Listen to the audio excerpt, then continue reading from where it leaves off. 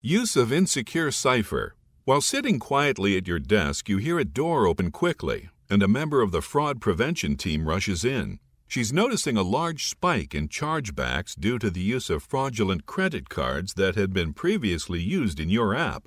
You begin to investigate application log files, and oddly enough, you see evidence of credit card numbers being used across multiple accounts. In fact, many of the accounts appear to have been recently created with little to no history. Skimming further, you notice a log entry that takes your breath away. Somebody was accessing an API that was intended for internal use only, and it appears this person was trying a SQL injection attack. And it worked.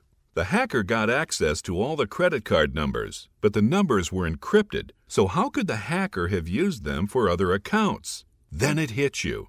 You recall a warning from a recent security scan that the internal API was making use of an insecure cryptographic cipher that is subject to multiple forms of attack, including brute force and padding oracle. Unfortunately, the hacker was able to exploit this fact and decrypt the credit card numbers. In this section, we'll review how to go about identifying insecure cipher use in your applications and how it can be remediated.